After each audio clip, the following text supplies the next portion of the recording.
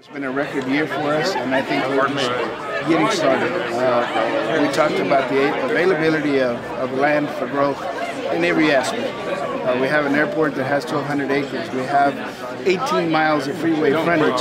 Uh, you know, I've uh, heard the comment in the past about some of the growth along the existing freeway corridors as being uh, 15 pounds in a 10 pound bag. You know, it's time to, to expand, move on, and grow, and we've got the room and the space. Careful planning, careful investment, and uh, uh,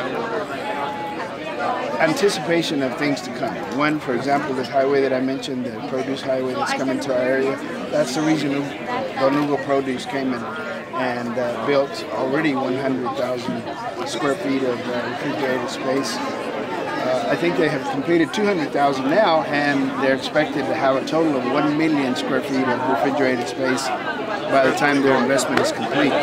And uh, uh, all of this growth is coming in preparation for uh, all of these things that are, that are coming to our area.